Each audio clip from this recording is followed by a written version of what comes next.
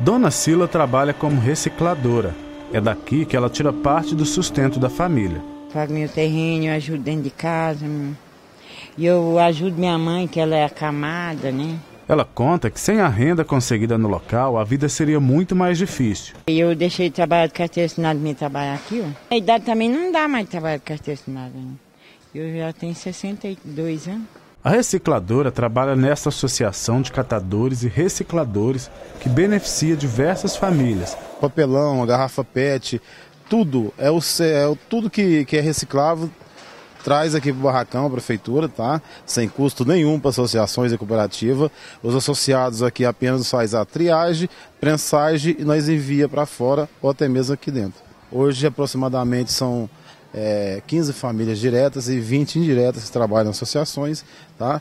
O material ele é totalmente gratuito, né? A prefeitura, com, com, com parceria com a prefeitura, trazendo o barracão e vendemos e fazemos rateio igual para todos os associados. E uma lei que trata sobre o serviço público de coleta seletiva solidária foi aprovada recentemente. Ela deve trazer ainda mais oportunidades de trabalho para as associações e cooperativas que estiverem cadastradas.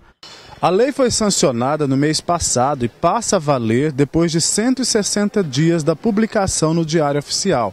A mudança vai alterar a vida, principalmente, desse pessoal que trabalha aqui todos os dias.